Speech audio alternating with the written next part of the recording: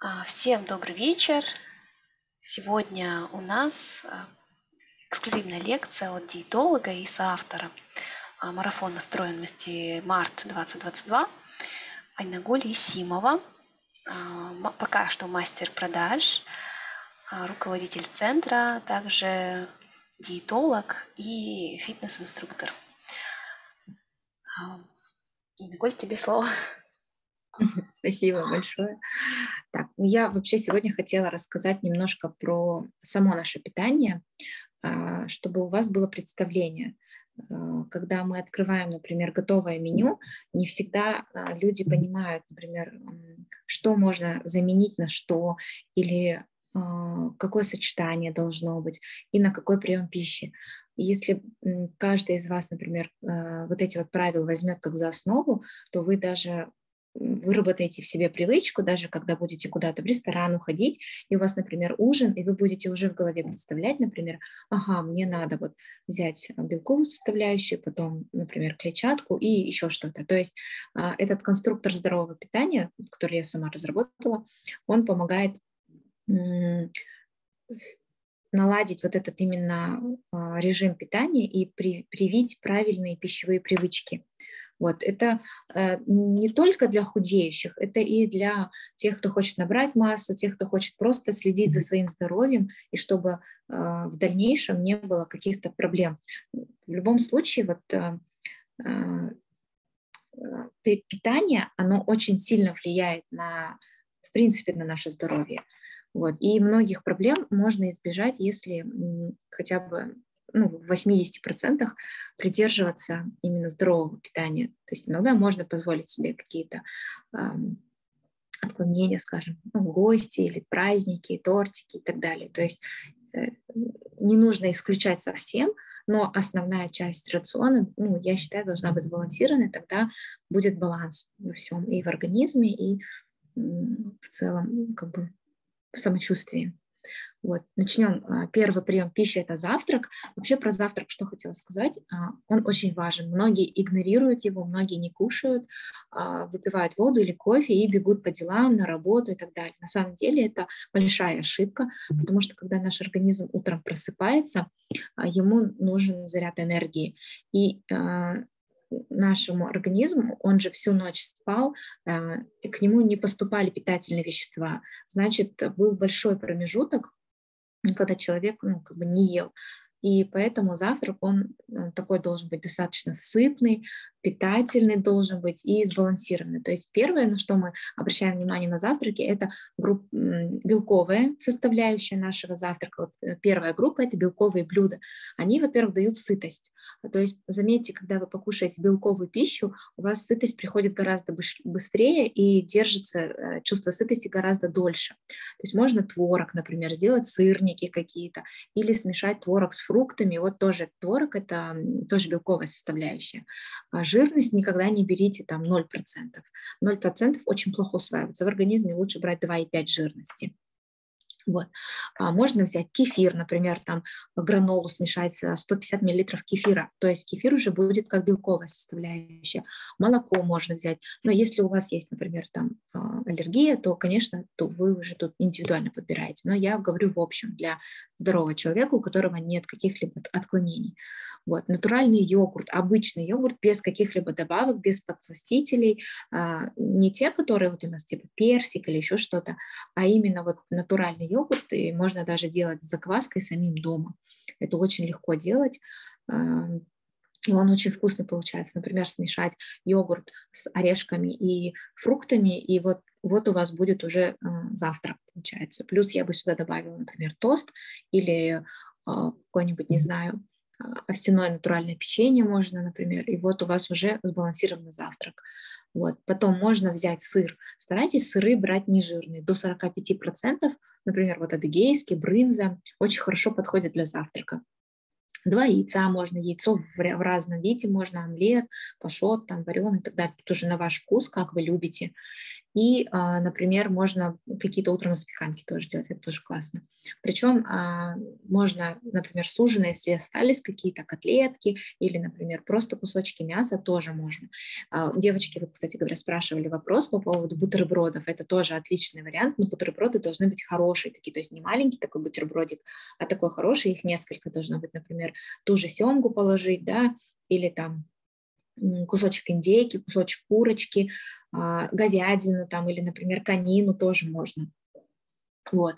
А, то есть это такие варианты завтраков именно с белковой составляющей.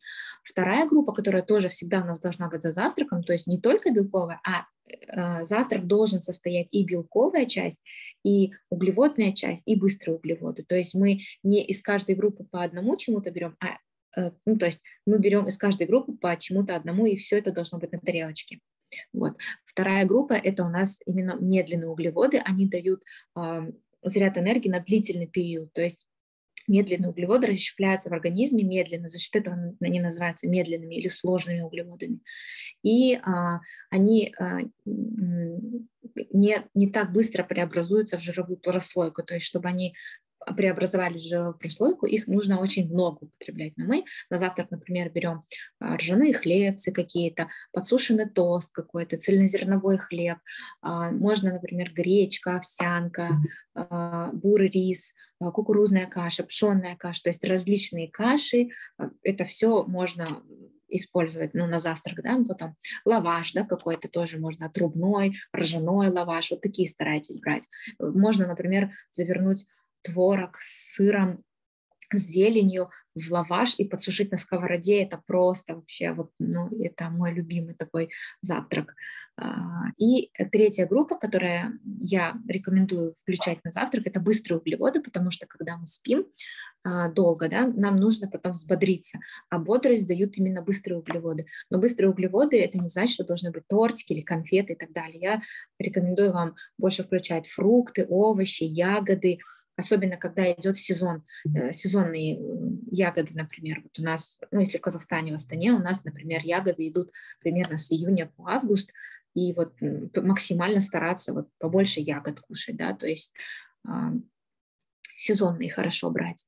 Вот, э, ну, я вот тут примерно написала, сколько порций должно быть. Э, например, одна порция яблока – это одну, одна штука, один апельсин, одна груша, там мандаринки маленькие, значит, их две. Киви, например, они тоже маленькие, тоже по две и так далее. То есть тут в зависимости от того, какой фрукт берете. Вот. Это все завтрак. Завтрак я советую делать именно эм, в течение часа после пробуждения. То есть как проснулись, почти сразу желательно кушать. То есть сначала выпили воду, проснулись, выпили воды. Пока там умылись, пока там оделись, какие-то утром дела поделали, а, какие-то приготовления, там пока завтра приготовили, и вот почти сразу кушать. То есть не через два часа, не через три часа, а почти сразу. Вот обед у нас, да, получается.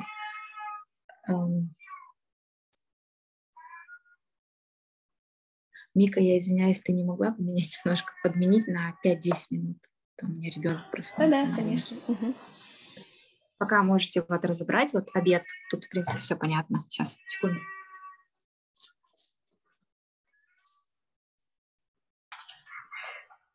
Так, а, всем, кто присоединился, я пока организаторские моменты уточню. Так, у всех фамилия, имя есть. Вот есть, вижу iPhone, а, непонятно имя, фамилия, потому что записываю, кто присутствует, чтобы получить дополнительные баллы от Екатерины.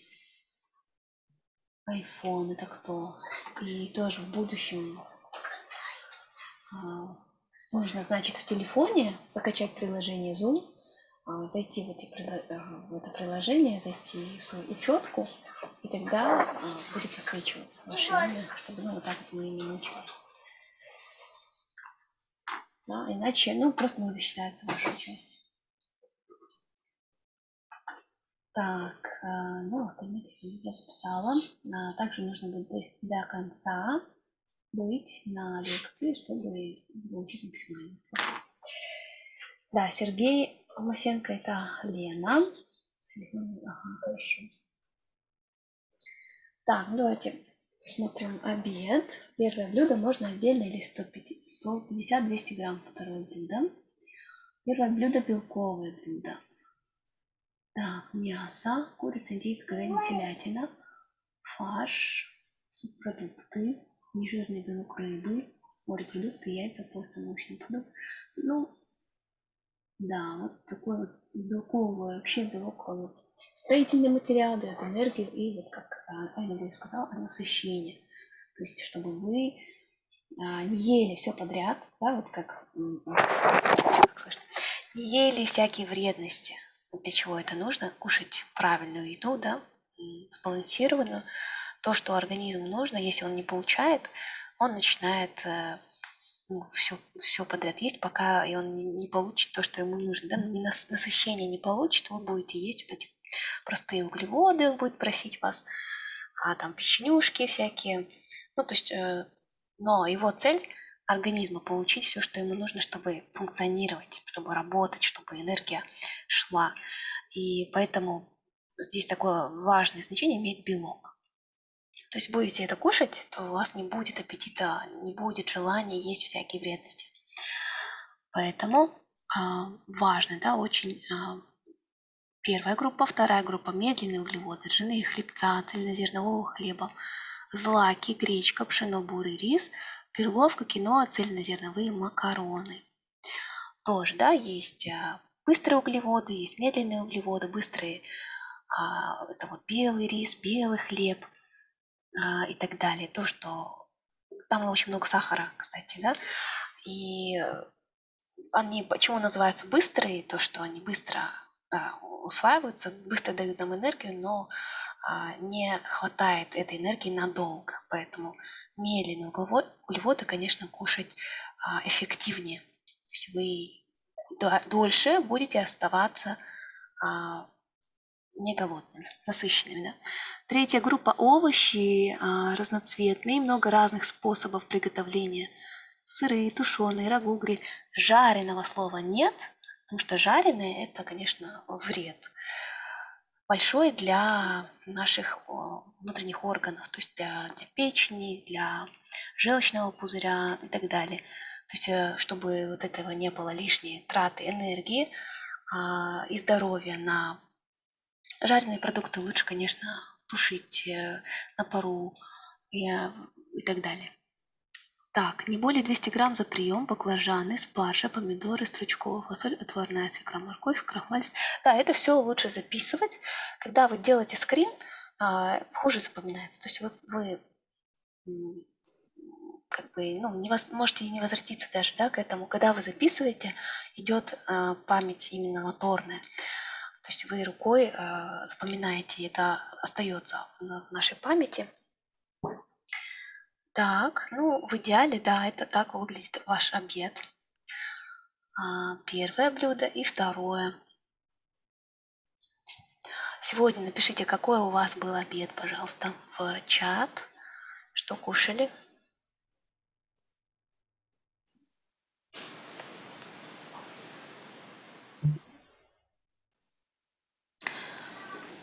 Да, сейчас я, мы находимся в Турции, в отеле, и э, я тоже стараюсь всегда брать первое блюдо. Первое супчик какой-нибудь, второе э, мяско. А кто склонен к анемии, да, берите красное мясо, оно очень хорошо усваивается там, э, где побольше, ну, чтобы гемоглобин, да, вырабатывался, это железо, вот где же больше железа, это а, наша фасоль, да, это бобы, а, в курице не так много железа.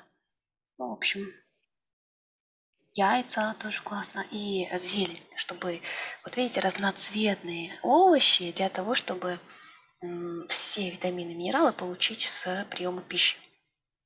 А в атоме есть а, витамин С, например, цветная еда называется. Мультивитамины тоже разных цветовых категорий. Почему? Тоже, чтобы из разных а, овощей, фруктов, зелени, цветовых категорий взять а, а, экстракты, чтобы получилось сбалансированное питание и все, вся необходимость в микроэлементах, макроэлементах организма удовлетворилась. Так, вижу чат.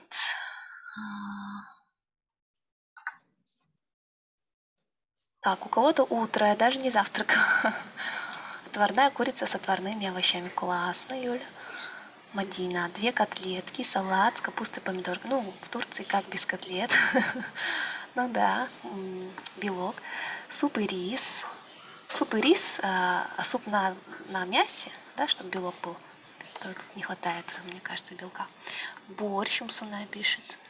А, Юля пишет салат с красной кочанной капустой. И салата вам достаточно? То есть тоже, да? А так, Мадина пишет перекус, банан, клубника, хочу сладкое. А сладкое, да, как перебить сладкое, сейчас, Ой, Нагуль, мы узнаем. Мусуна, третий Я день подошла. ем сладкое. Передаю слово, вот это мы разобрали обед. Обед, вот, да, тоже хотела сказать, что самый крупный, самый большой по количеству у нас должен быть именно обед за целый день.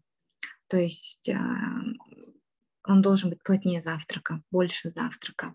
И вот а, тут, например, есть, а, вот разобрали, что у нас должна быть, опять же, белковая да, составляющая, что должны быть медленные углеводы и какие-то овощи, салаты там, не знаю, в тушенном виде, можно запеченный там на гриле и так далее. Но а, тут есть важный момент, что а, не стоит сочетать красное мясо с медленными углеводами, потому что они дают очень тяжелое, тяжело переваривать кишечнику вот такую пищу, именно это сочетание. То есть красное мясо плюс, например, макароны я бы не стала. К красному мясу я бы взяла тушеные овощи или, например, а, салатик какой-нибудь.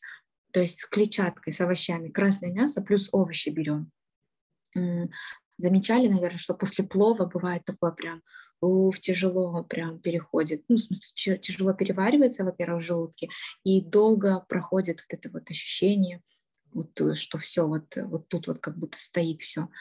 А, бешпармак то же самое, манты, пельмени, вот это вот все, сочетание теста, углеводов и а, мясо, оно такое тяжелое. Углеводы лучше сочетаются с рыбой, с кроликом, с птицей, а, ну вот с легкими углеводами, ой, с легким белком, который легко усваиваемый. А, творог тот же самый, яйца, это все белок, который легко усваивается. Вот, то есть э, сочетать лучше так. И субпродукты тоже лучше сочетать с овощами. То есть они больше относятся к красному мясу, и я бы рекомендовала субпродукты минимум один раз в неделю включать, потому что это источник а, очень хорошей железа, витаминов, минералов, которые вот нам нужны, и это еще железо в субпродуктах, особенно в печени, оно там содержится именно такое, которое нужно нашему организму. То есть оно будет быстрее усваиваться, нежели, например, железо негемовое, растительное. Вот такой, ну, просто момент, как бы, который я бы хотела рассказать, потому что немногие это знают. И, вопрос, и ну, овощи, конечно, надо. А про сладкое, вот. Вообще, почему, почему часто хочется сладкое, кстати говоря, это такой вопрос. Значит, где-то дисбаланс идет, значит, не хватает чего-то за счет э, за счет того, что организм недополучает где-то, он должен где-то добрать то есть хочется чего-то вот сладкого, да. Почему еще сладкого не хватает, не хочется еще, потому что зачастую медленных углеводов мало в рационе, и организм пытается это добрать. Либо белка не хватает, либо жиров не хватает, но зачастую из-за того, что не хватает медленных углеводов, либо слишком большие разрывы между приемами пищи.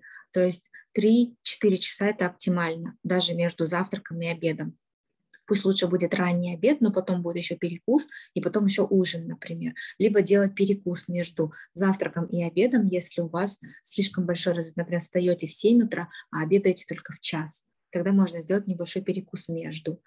Вот, третий день не ем сладкое. Это классно. Суп с мясом и соей. Тоже хорошо по-корейски. А, а куриная печень считается? Куриная печень тоже как, как субпродукта считается. Вот. Так, ну вроде бы все, да? А, так.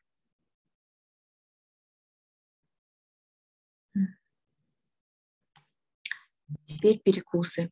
Вообще перекусы можно прям разнообразные делать. Ну, это моя прям любимая тема перекусы, потому что многие жалуются, что не успевая кушать и так далее. Можно у нас, мне очень-очень понравился сет наших орешков в Атоме. Вот э, я помню, нам привозила Вика в Астану, дарила вот маленькие вот эти вот э, пакетики, и там а, орешки в перемешку с сухофруктами. Это просто отличный вариант перекуса. И его можно положить в сумочку с собой и вытащить в любом удобном месте.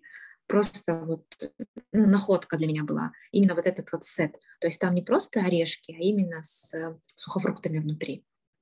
Классная, ну как классный выход. Да, я, я мало где видела такие. А, то, что свежие очень а, там овощи, они как бы хранятся отдельно, отдельно каждый хранится, просто потом в пакетик закладывается, поэтому вкус у каждого свой, запаха нет, и Владимир начал есть э, грецкий орех, только вот в. Mm-hmm. До этого он его избегал, не любил, а тут прям все, все съедает. Единственная цена, да, то, что дорог... ну, тяжеленькие орешки, получается да, да. здесь, конечно, но иногда можно себе ну, позволить. Ну, но это только за счет того, что мы же своими силами везем. Когда он, если, если и когда он появится на нашем сайте, я думаю, он будет гораздо дешевле.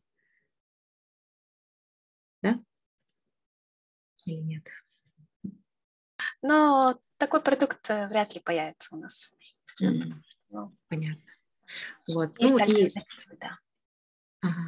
По теме перекуса, вот что в первой половине дня лучше делать такие более сладкие перекусы, типа вот сухофрукты, фрукты, ягоды и так далее, а во второй половине дня более овощные или белковые.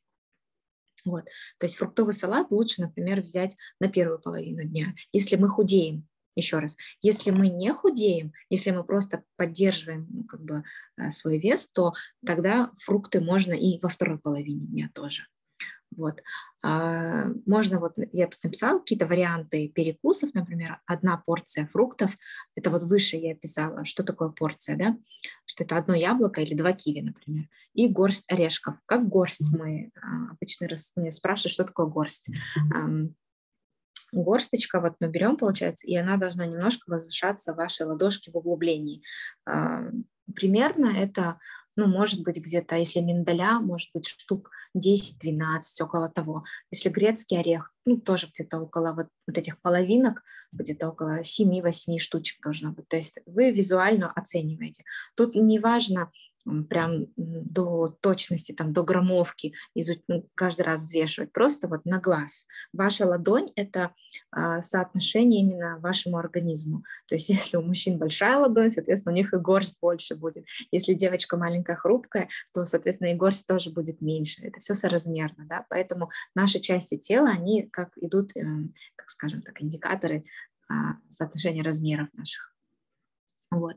Можно делать вот какие-то оладьи, да, например, из кабачков, цветную капусту можно как-то сделать. Я очень много видела вариантов, а, как сказать, овощных каких-то суфле делают. А на самом деле тут уже на вашу фантазию. Можно делать смузи разные, это вообще классно. Вот, э, какие-то бутербродики тоже, да, рулетики какие-то, спрингроллы, вот эти вот, да, например, или можно в нашу а, листы наши водоросли заворачивать, например, там огурец, посыпать кунжутом, вообще просто отличный вариант перекуса.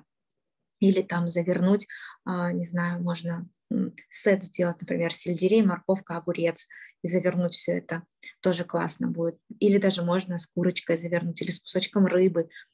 В общем, тут уже фантазия просто, какая вам захочется будет вообще классно. Ну и ужин, э, я рекомендую ужинать за 2-3 часа до сна, идеально за 3 часа до сна.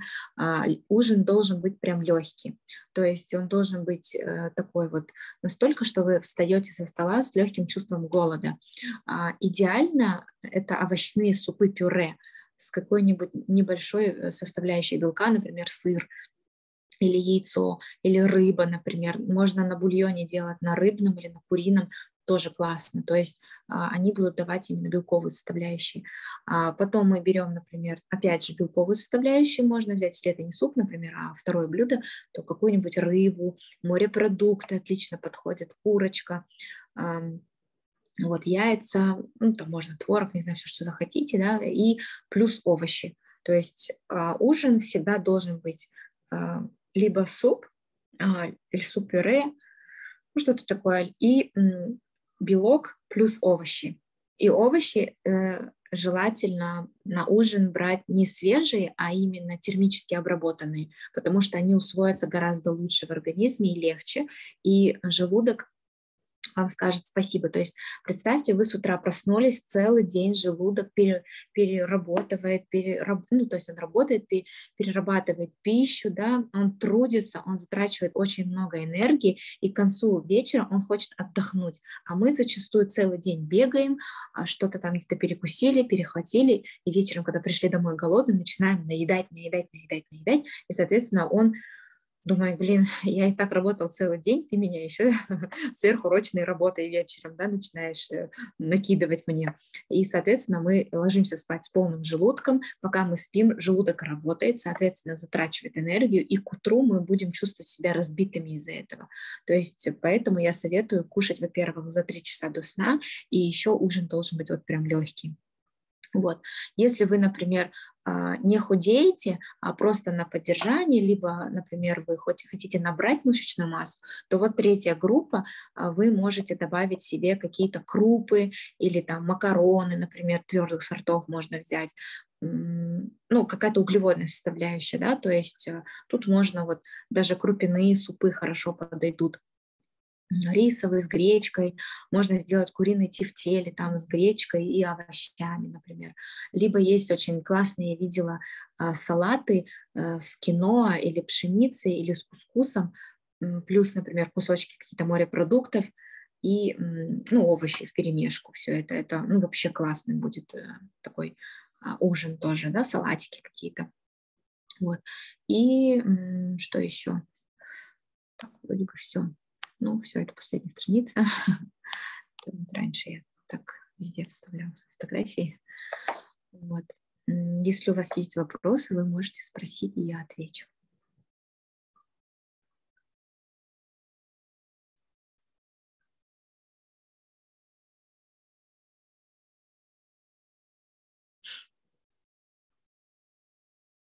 Ну вот этот конструктор я, кстати, могу отправить в наш чат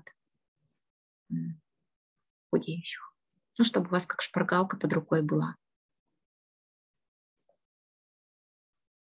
А как можно заменить сладкое диетические батончики? Э, диетические батончики вот можно взять, а, которые, например, а, вы можете даже сами сделать их, овсянку, смешать там изюм, например, орешки какие-то, и залить это медом, и сформировать такие батончики и в духовку тоже будет хорошо. Но э, просто тут это все полезно, это все здоровое, но, опять же, оно все калорийное. А, изюм калорийный, курага, например, да, мед, это очень много калорий, а, и орехи, они хоть и полезные, но очень жирные и несут много калорий. То есть тут их можно взять, но надо меру знать. Я бы, например, еще подключила что-нибудь типа чернослив, если есть возможность, какие-то ягоды, очень хорошо перебивают вот это вот желание скушать сладкое. И если сильно хочется сладкое, то можно делать а, именно вот цельнозерновое, злаковое что-то злаковый какой-то э, хлеб, на него, например, можно арахисовую пасту и сверху банан. Это будет отличный перекус, он будет полезный, он будет сытный и как бы, удовлетворит вот эти вот желания покушать сладкого. Вот. Давление понизили, понизилось у меня, говорят. Но это классно. На самом деле, когда мы начинаем сбалансировать свой рацион, а, мои девочки на рацион, на марафонах видели результаты практически сразу. У многих уходили вот эти вот неприятная отрыжка, изжога уходила, а, вздутие живота, потом тяжести в желудках. То есть они чувствовали на себе именно в плане здоровья а, результаты вот правильного рациона своего сбалансированного. Когда начинаешь вот так вот кушать, следишь за рационом, а не закидываешь все подряд, то как бы, видно это сразу, по самочувствию даже видно. всегда спорный вопрос. Так, подскажите, пожалуйста, всегда спорный вопрос, который мне многие задают. Можно ли совмещать свежие огурцы с помидорами? Почему-то многие диетологи против этого сочетания. Но на самом деле, ой, это, ну, очень много же всяких картинок а, в интернете еще гуляет. Типа, вот, нельзя огурцы с помидорами. Ну, блин, а, мы же не едим их килограммами, мы же не едим их там ящиками. То есть у вас максимум один огурец, один помидор, может быть, ну два, может быть, даже если больше вы не съедите. Это не такая большая концентрация, чтобы, ну вот настолько они конкурировали между собой. То есть огурцы с помидорами нет, это, ну, не знаю, даже, я даже, если честно, даже не знаю, откуда этот миф взялся, как, ну, я думаю, грамотный диетолог, тот, который э, как бы не гонится за какими-то, как сказать, за статистикой или а, а, там, охватами в Инстаграм, ну, не, ну, не будет, я думаю, такого придерживаться. Единственное сочетание, это вот я говорила о том, что красное мясо, оно тяжелое, тяжело усваивается в организме, долго переваривается, на самом деле на переваривание красного мяса нужно порядка 6-5 часов. Поэтому его лучше на обед и в сочетании с овощами, с клетчаткой, которая поможет протолкнуть а, по ЖКТ, ну, по кишечнику и, соответственно, усвоиться лучше. Вот. При этом а, в наших овощах а, или, кстати, можно еще брать красное мясо с фруктами, тоже классно. Например, а, там делают же печень с яблоками, с грушей, вот такие вот сочетания тоже видела. Они хорошо помогают и вкусно, кстати говоря. Хорошо, хорошее сочетание будет. И железо из мяса усвоится лучше в сочетании с фруктами. Ананас с сыром. Ананас с сыром. Ну, в принципе, неплохое сочетание. Ну, тоже можно. А, единственное, вот, кстати, есть поправка дыня Дыню нужно всегда кушать отдельно от всех фруктов, от, вообще отдельно от всего. То есть если вы э, перекусываете дыней, то это должна быть только просто дыня, вот, э, без там чего-то еще. Только дыня так. Потому что э, дыня тоже тяжело переваривается, у нее есть такие ферменты, которые, на переваривание которых там затрачивается такая достаточно много энергии в организме. Вот. А так э, остальные все фрукты можно. Как бы тут без разницы. Тушеная говядина с айвой. Ну, я такой не слышала а, блюдо такое, но мне кажется, будет вкусно. От, э, зависит уже от кухни, какая она, да. Вообще, а, кстати говоря, диетологами признается, что а, средиземноморская диета, средиземноморское питание считается максимально приближенным к сбалансированным, потому что там очень много рыбы, а, цельнозерновые макароны, спагетти, да, вот это все, причем они готовят все это альденте, и очень много овощей, фруктов кушают, и оливковое масло. Вот, это такой, ну, не знаю, ну, много очень диетологи отзываются именно о средиземноморском питании, что оно такое достаточно сбалансированный. Плов с айвой очень вкусно получается. Не пробовала, честно, не могу сказать. Но вот я бы плов с айвой сделала бы из курицы, например, или, например, из кролика, а, или из грудки индейки тоже можно было бы. То есть в индейке, кстати говоря, а, ножки считаются красным мясом, а грудка считается белым мясом. Даже ну, по, по виду оно будет. То есть ножки я бы взяла на обед, а грудку на ужин. Поэтому плов можно соевой сделать, например, из индейки. Мне кажется, классно выйдет. На самом деле, вот если, как сказать, поэкспериментировать, то разные блюда а, вот именно в сочетании, вот в правильном сочетании они очень вкусные. Правда ли, что при сахарном диабете нельзя кушать фрукты во второй половине дня? Ну вот смотрите, фрукты – это фруктоза но иногда он вечером хочет, но я отказываю. А, фрукты, это фруктоза, они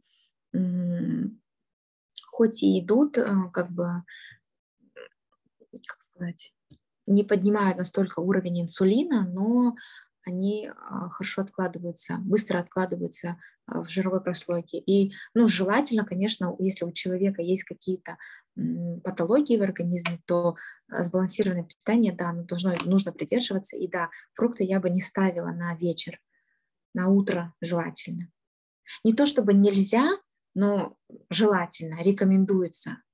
То есть если это, например, какие-то ягоды, не сильно сладкие, не виноград, не банан, скажем, не арбуз, а, ягодки какие-то, то можно. Я бы взяла киви какой-нибудь, да, такие кислые больше, то можно было бы во второй половине дня. А вот такие больше сладкие, их лучше на первую половину дня. Ну, наши любят, я знаю, арбуз на ночь кушать. Это такая очень... Сейчас вот в августе будет практика у всех, но э, я бы так не стала делать. Еще наша же арбуз обычно, порция арбуза считается примерно 150 грамм. А, наш среднестатистический человек казахстанский не ограничивается никогда 150 граммами арбуза, тем более на вечер. Вот. Еще и в сезон. Это классно, кстати говоря. Э, что вы заготовите все из цельнозерновой муки. Сейчас э, рынок очень а, разнообразный. Сейчас даже в обычном магазине можно найти цельнозерновую муку. Ржаную муку можно найти. Раньше на прилавках было очень мало этого, либо в каких-то специализированных магазинах. Но сейчас очень много где. Даже в маленьких городах я замечала, что есть э, магазины, обычные магазины продуктовые, на которых на полках прям стоит цельнозерновая мука. У меня привычка вечером кушать фрукты. Ну, как бы фрукты, они полезны, в них очень много витаминов, во-первых, клетчатка, а, полезных э, свойств много, да, но я бы их рекомендовала все равно на ночь не стоит.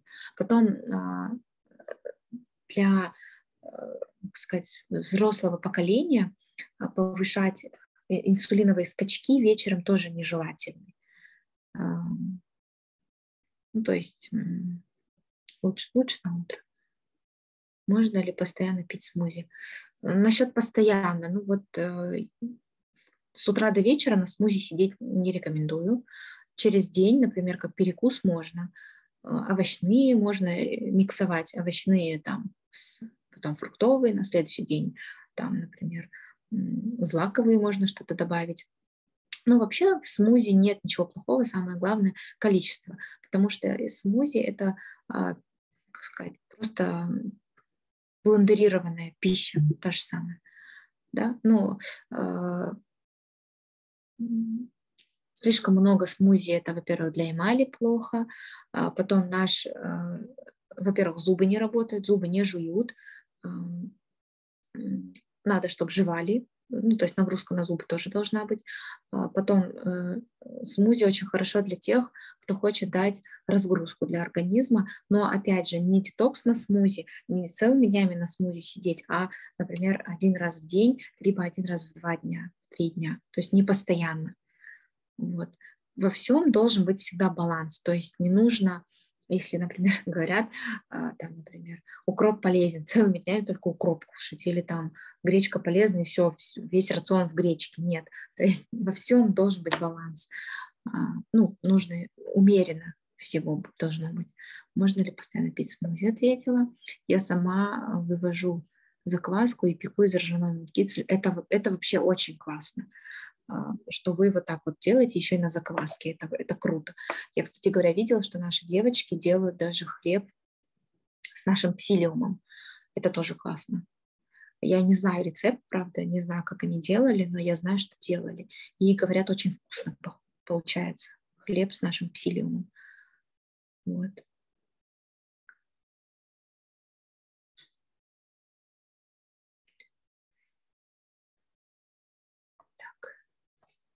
А, я слышала про с пробиотиков делать йогурт. Вот в Корее, да, например, где йогурта нет. Там молоко просто вскипятить до 40 градусов, теплое должно быть. И если засыпать, то оно так, ну, в теплое место должно постоять хотя бы 8-12 часов. Потом получается йогурт. Тоже интересно. А про сладкое, кто спрашивал, вот наш витамин С можно, как десертик стик выпить, он же сладкий. Да, да. Так перебивает. Пробиотики у нас, э, желешки, да, тоже у нас все сладкие. Псилиум, кстати, можно тоже. Он сладковатый и чувство сытости даст. Да. Но мне, кстати, наш шейк очень понравился на вкус. Прям такой ненавязчивый, такой нейтральный, не сильно сладкий, потому что раньше я, когда брала другие шейки, они прям, ну, вкус такой был сильно сладкий. Видимо, хотели как перебить что-то, какой-то другой вкус. А у тебя какой вкус? Там злаки, Злаки. Угу. Голубенький, злаки. Угу. Угу. Я его, кстати говоря, выиграла а, в конкурсе у Стеллы. Классно. И я ждала, когда у нас будет марафон, чтобы его открыть и начать пить. Здорово. Так, Умсана пишет, я пью витамин С, женьшень, яблочный жир, но все равно хочется сладкое. Смотрите на рацион на свой. Да. да. Еще спирулина. Когда пьют, натощак. Да, да, спирулина. Она заполняет вот недостаток каких-то витаминов, ну, чего-то там не хватает организму, вот она просит его сладкое. А потом еще сладкое очень часто бывает, хочется а, в силу каких-то психологических а, факторов. То есть, может быть, у вас где-то стресс, где-то какая-то депрессия или еще что-то, то есть а, эмоциональный фон страдает, и если раньше была привычка заедать стресс, то организм будет уже как на, на наработанном сценарии думать, что когда у меня стресс, мне нужно, нужно сладкое, потому что это уже больше в психологию. Тоже, ну, это тоже фактор есть такой. Да, да, стресс, да. Недосыпы потом, а, неправильный режим дня, когда мы плохо спим, когда недостаточно спим. То есть вообще человек очень такой, скажем так, организм хрупкий. Любые внешние и внутренние изменения сильно сказываются на самочувствии.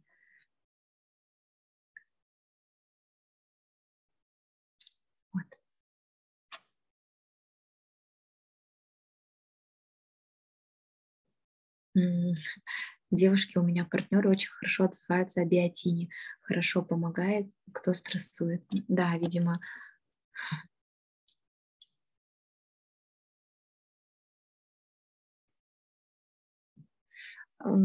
смотря во сколько, вот вопрос о Тумсунай, я очень рано просыпаюсь, 5 часов, это нормально, смотря во сколько вы ложитесь спать. Если вы ложитесь спать хотя бы в 10, то это очень классно. То есть э, в 9-10 вечера ложась, мы лучше выспимся и хорошо выспимся, а, если, ну и даже если в 5 будем просыпаться. Такие в самые нужные часы спите, значит. И если вам этого достаточно, вы чувствуете бодрость, то, конечно, да. То есть вообще 7-8 часов – это норма. Рамен ататоми можно на обед? Э, в принципе, можно, но я бы туда добавила яичко. Вообще наш рамен, в принципе, он на, на натуральном идет, натуральные ингредиенты все. Ну вот э, там же крахмал, а, картофельный крахмал да, в составе получается. И а, крахмалистую еду желательно кушать, а, ну, например, раз в 5 дней 150 грамм, в принципе, можно. То есть тот же картофель, например. То есть если у вас была лапша, например, во вторник, то картошка в ближайшее время там, ну, хотя бы в воскресенье. Вот. Крахмалистые овощи желательно тоже на обед кушать, кстати говоря. То есть если рамен на ужин, то я бы не стала есть. На обед, на обед еще можно. А, крахмалистые это, это вот еще тыква, свекла, морковка. Вот на ужин их нежелательно. Такие овощи лучше на обед кушать. На ужин лучше вот что-то типа брокколи, кабачок, цветная капуста, что какие еще, перец. Такие вот овощи лучше на ужин.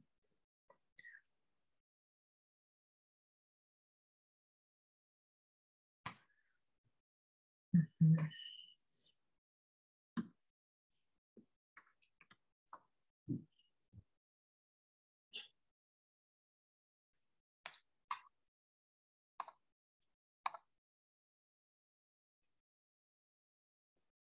Если еще есть вопросы, может быть, по тренировкам или там по, по меню, может быть, что-то, если непонятно, можете тоже спрашивать. А, мы по слайдам закончили, да? Да, по слайдам все. А, отлично.